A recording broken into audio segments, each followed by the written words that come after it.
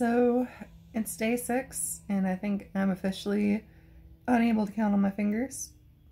I think I have to do big girl math. But yesterday was actually um, really good. I'm a little bit late on making this video, um, but I just had a really busy day last night, and I didn't get home until like almost one in the morning. Um, so it it was a really really good day. It was it was like exactly what I needed. And um, I'm really glad that I've been doing this series because it helped me stay in a place where I was able to keep trying to focus and work on my growth even through some really painful um, times. Um, I had a, a really nice therapy session with my with my counselor yesterday and um, I just I spent a lot of time talking about just like you know how I've never had how I've never gotten to experience a lot of things that um that other women have. And you know um I think one is one big thing for me is like you know you really have to make time to to let yourself have experiences that make you you feel like you're fulfilling your obligations, not your obligations, but yeah, your obligations to yourself with the things that you need and that that you feel like you deserve to to live a healthy life and to be the most authentic version of yourself. And you know i think i really think that like you know i've spent so much of my life just trying to to fix other people's problems. And and honestly i since i transitioned i think i've i've spent like maybe three months total not dating someone which is i mean i've been transitioning for almost four years now so that's like not a very good ratio in my opinion you know? Like i, I really feel like you know especially you know because I really feel like I didn't start growing until I started transitioning. So, you know, I, I really feel that I I started like I've only been me for like 4 years and all of that time I've been spending trying to figure out other people and I really haven't taken the time to like dive down deep into like who I am or like what I want or what I need or like how I take care of myself really. You know like I when I was talking to my therapist yesterday they they really recommended me doing things like more little activities and you know watching like children's movies and you know like buying that dollhouse or like you know play with it kind of thing. And I, I really feel like just having those experiences and like having permission from myself to let myself have those experiences and you know to not let my anxiety of like what if i'm not good enough like complete me throw me off off the rails you know? I, I really think that you know it's been such a, a positive and and affirming part of my journey. You know i really just I, I think that the more I can let people know how much that that you know this age regression stuff it's to help you experience the things that you never got to experience when you were a child.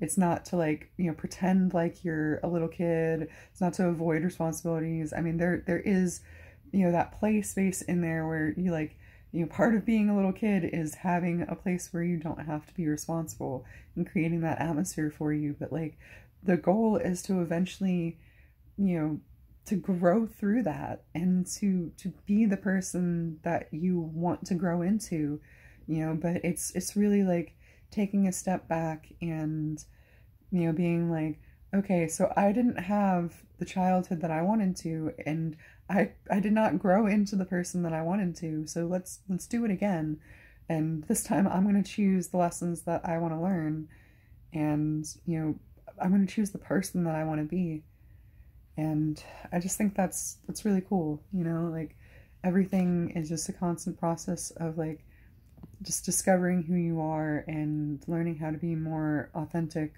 with it towards the world and how to express that in like deeper and deeper ways. And um, i'm really grateful.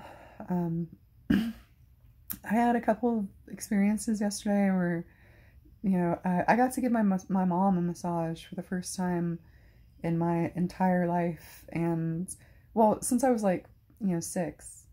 And it it was just really like it was one of the most bonding experiences that we had and just like like her seeing my work and like oh this is what you do. Oh you actually are really good at it.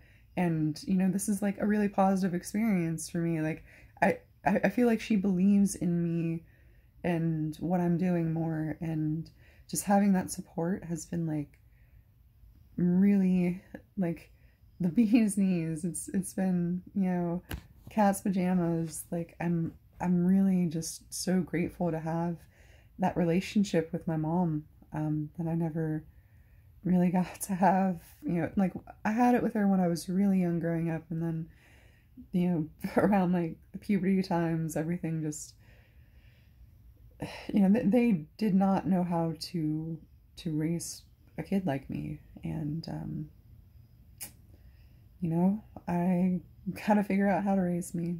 So i'm doing it. And um i'm glad y'all are joining me to to share this experience because it's been um it's been an interesting one. And uh I I really wish that I had been able to hear some of these things when when I was younger and really needing it. So I'm um, I'm just really glad that anyone out there is listening to this and and enjoying it and you know it's making some sort of positive impact on their life. You know that's that's really cool to me. Um, yeah, so I'm gonna I'm gonna end this off with some positive affirmations. Um, I think, you know, even though yesterday was a high note, I still definitely want to keep this going. And, you know, I think building this momentum is, you know, keeping, like, building and keeping this momentum are, are just as important, you know? So I am love. I am lovable. I am light. I am deserving of kindness. I am peaceful. I am confident. I am strong. I am a good friend. I am a good person. I am so, so much of a gift to the people in my life. I, I help heal the people around me. I bring love and joy into the hearts of the people that I interact with. I am respectable. I am worth putting energy into. That one really, really slapped. I deserve putting energy into myself. That one really, I think I think I'm hitting something here, but um, I deserve to take the time for myself. I deserve to to set intentions for myself.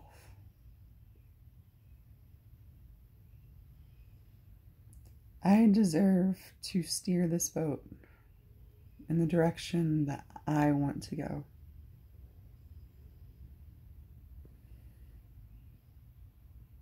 I deserve to be happy in my body.